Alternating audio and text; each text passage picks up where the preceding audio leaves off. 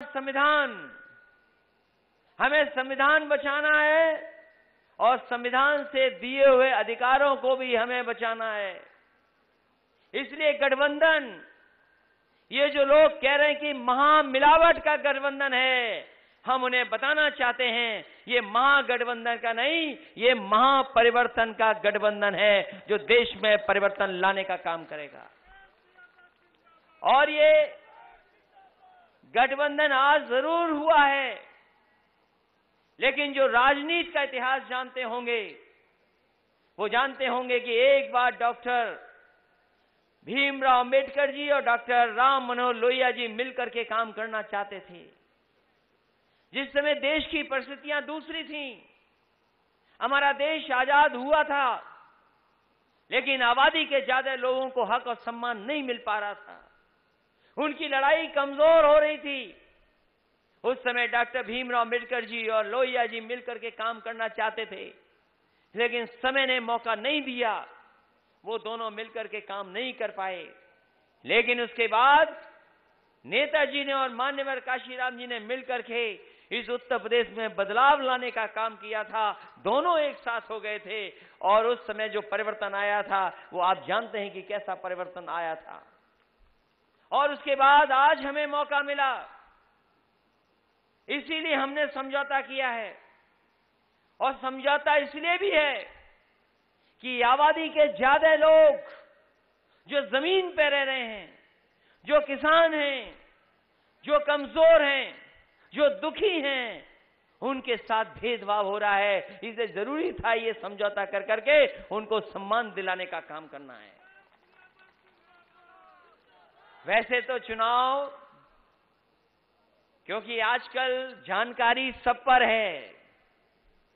और अगर कोई सूचना दिल्ली से चलती है, लखनऊ से चलती है, या देश के किसी कोने से चलती है तो वही जानकारी हमारे गाँव में भी पहुँच जाती है। आज वैसे साधन है।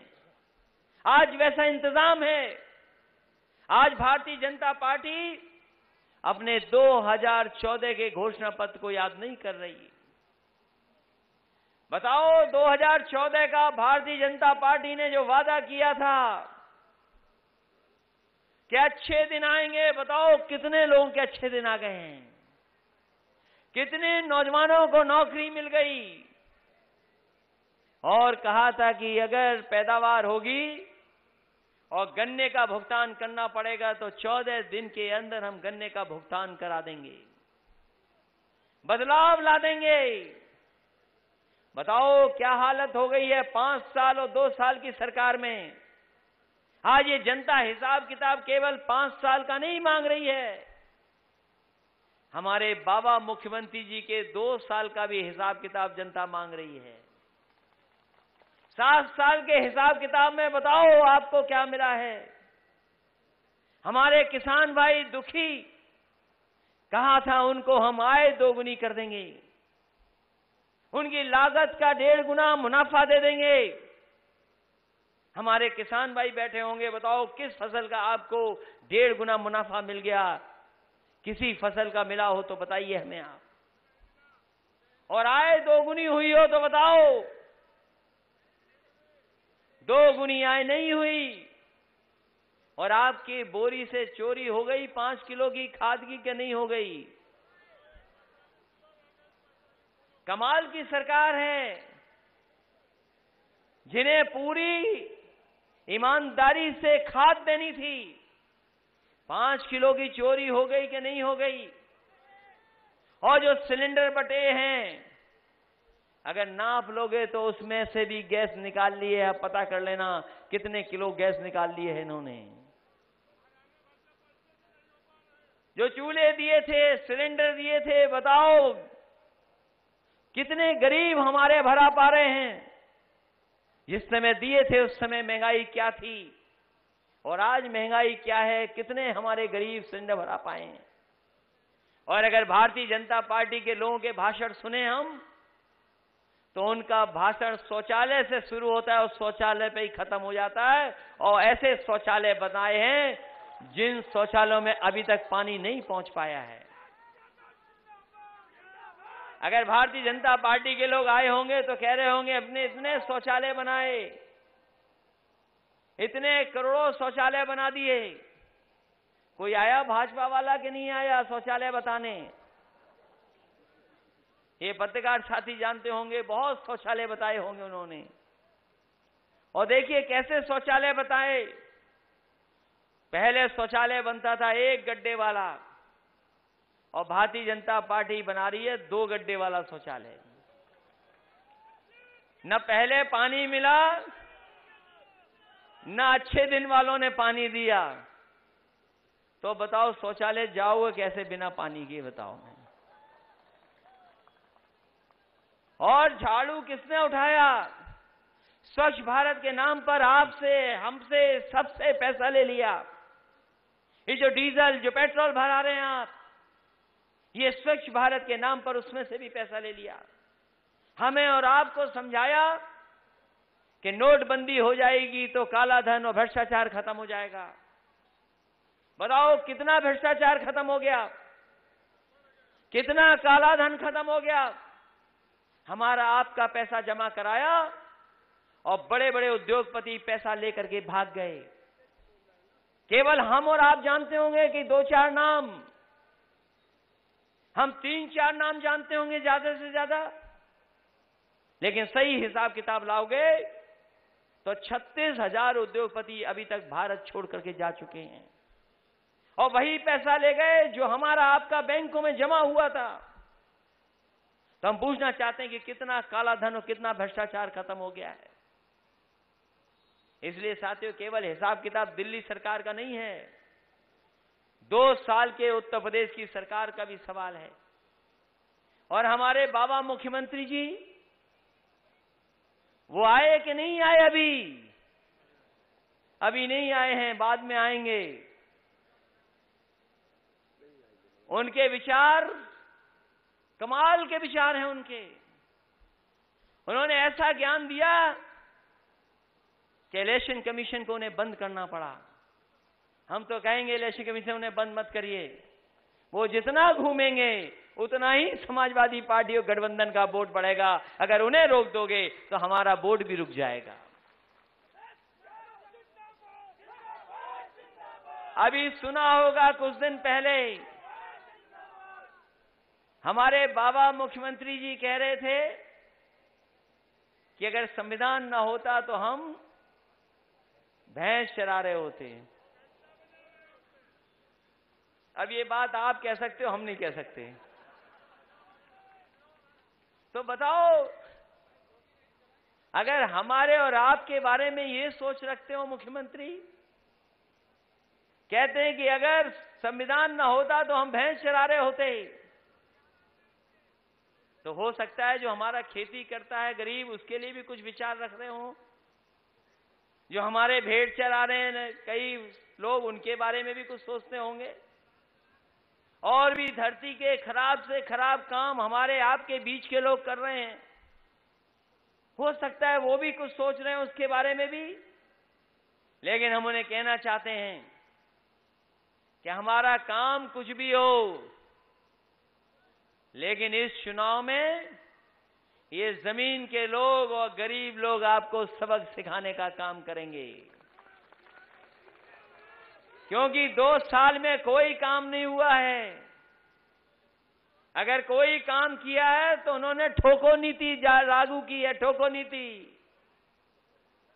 मुख्यमंत्री जी ने कहा कि ठोको। और उस ठोको के चक्कर में हमारी पुलिस को समझ में नहीं आया किसको ठोक दें। और कभी जनता को समझ में नहीं आया कि पुलिस को कब ठोक दें। तो आप उत्तर प्रदेश में देखे होंगे, कहीं पुलिस जनता को ठोक रही है और कहीं जनता पुलिस को ठोक रही है। ऐसे ठोको नीति लागू करने वाले हमारे बाबा मुख्यमंत्री। इन पुलिस की वाले साथियों को दुनिया की सबसे बेहतरीन व्यवस्था दी थी सौ नंबर वाली। और इसलिए दी थी कि फ़ोन करो तो पुलिस मदद के लिए पहुँच जाए। लेकिन पता नहीं बाबा मुख्यमंत्री ने पुलिस को क्या कर दिया इन्होंने। ये सौ नंबर भी खराब कर दी। वो वही बीमारी लगा दी जो पहले बीमारी थी। बताओ सौ नंबर खराब कर दिया क्या नहीं कर दिया? और पुलिस भर्ती भी हमने आसान की। जो नौजवान जानते होंगे पुलिस भर्ती, पहले एक परीक्षा, दो परीक्षा और तीन तीन साल लगते थे। तब जाके नौजवानों को पुलिस में भर्ती हो पाती थी। बहुत जगह खाली है। हमने कहा कि इतनी परीक्षा देने क्यों चाहिए परीक्षा?